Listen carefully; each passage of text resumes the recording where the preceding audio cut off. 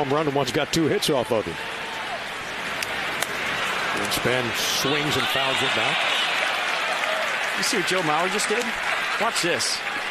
So saved a run on a wild pitch. Watch this, folks. We come back to start training camp, and Powell shows up first day of, of training camp. I had my gold medal hanging in his locker. Oh no!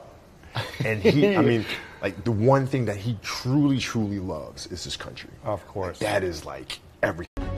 His passion, his love for the game, it was contagious. I love you guys. You guys are the best. Junior's smile told a story on the outside, but there was a much different story on the inside.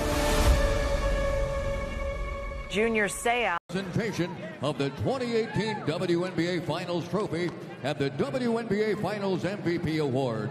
Please welcome ESPN's Holly Rowe.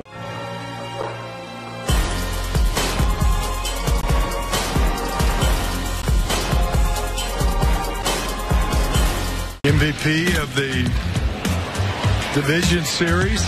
Watch this. Holy smokes, what a play.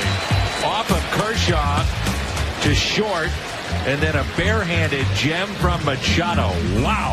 Hey.